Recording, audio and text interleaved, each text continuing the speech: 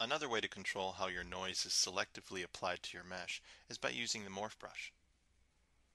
So the first thing I'll do for this model that I have here is open up my surface palette and choose the noise that I want.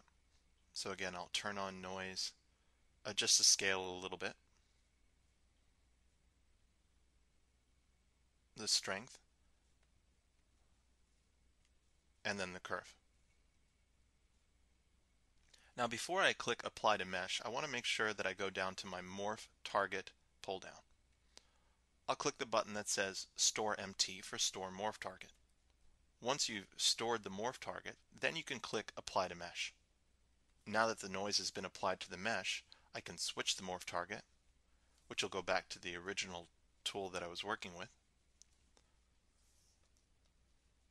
And then move over to my morph brush